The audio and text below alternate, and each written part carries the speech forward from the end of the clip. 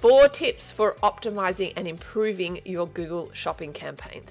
Hi, my name's Ilana from teachtraffic.com, recording a video for measureschool.com.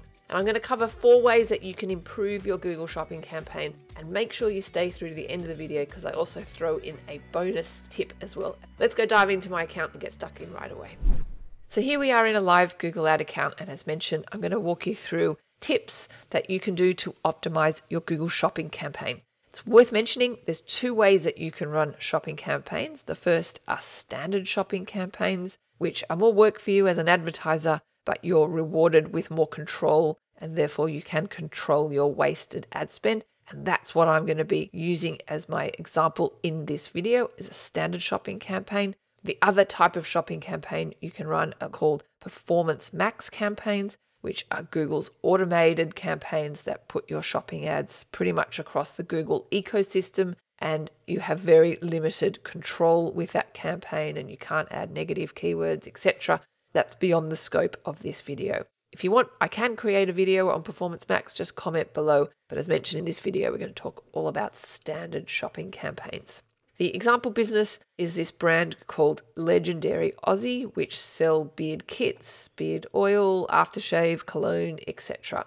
Okay, so as you can imagine, when somebody goes to Google and types in beard oil, this particular advertiser would like their product to show up in the shopping ad results, which are here. Shopping ads show up usually above the text ads, sometimes they're on the far right here and they are also above the organic results.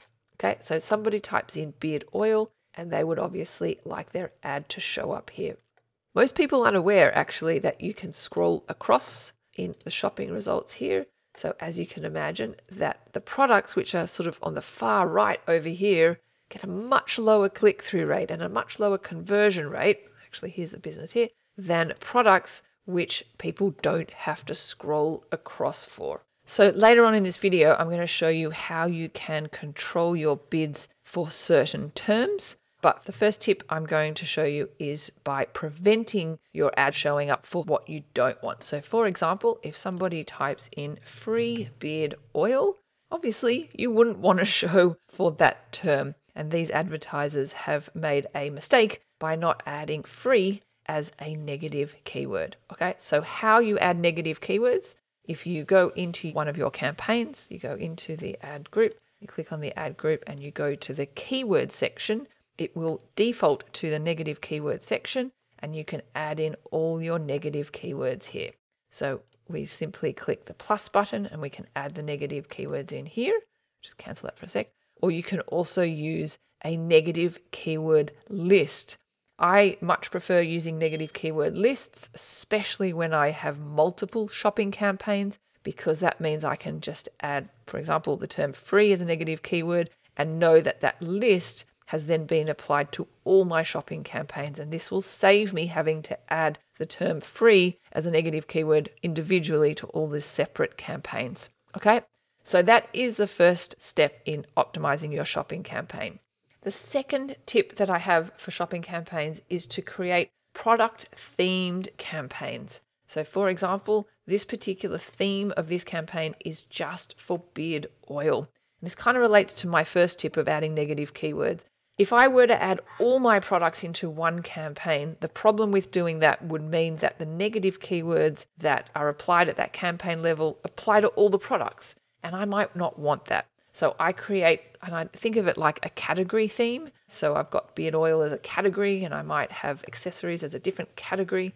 So you create category themed shopping campaigns so that you can really ensure that the negative keywords that are applied are relevant to the particular products that are shown. Okay. The third tip that I have is to possibly bid differently for different products in your campaign. So remember I said that the shopping ads that show up on the far left here are outbidding the products that are on the further right across. So you might have a bestseller product that you want to make sure is on the far left. So you can, if I go into one of these campaigns, you can change your bids for your different products that are loaded into that campaign. So that is the third tip that I have. If you remember at the start of the video, I said that we can control our bids as per the term that people type into Google.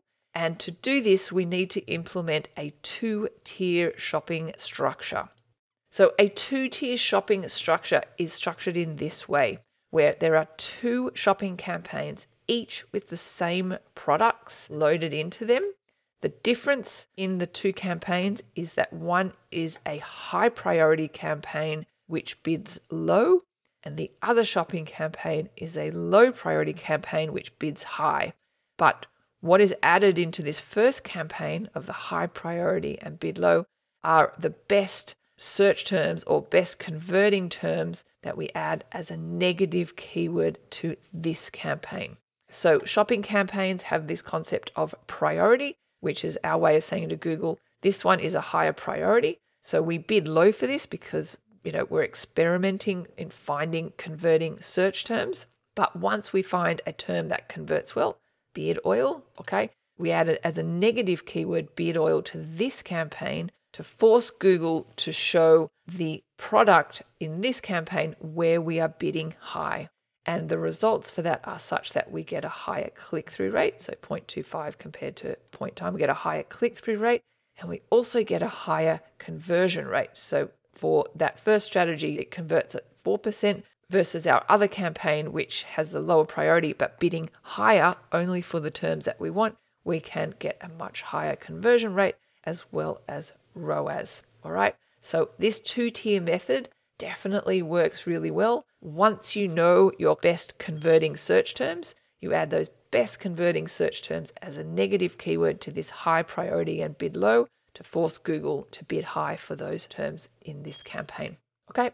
So that is the fourth tip that I have for your shopping campaign. And the last bonus tip is to possibly experiment with target ROAS bidding. And obviously, you would apply different ROAS bid strategies if you were to implement this two tier strategy. So, there you have it. There are tips for Google Shopping campaign. If you've got a question, just comment below, and thanks for watching. Alright, thanks Ilana for this great information. If this video helped you out, then please hit that like button so we can share it more to other people. And if you want to find out more about AdWords, tracking, analytics, then check out this playlist right over there. And from everybody here at Measure School, happy measuring!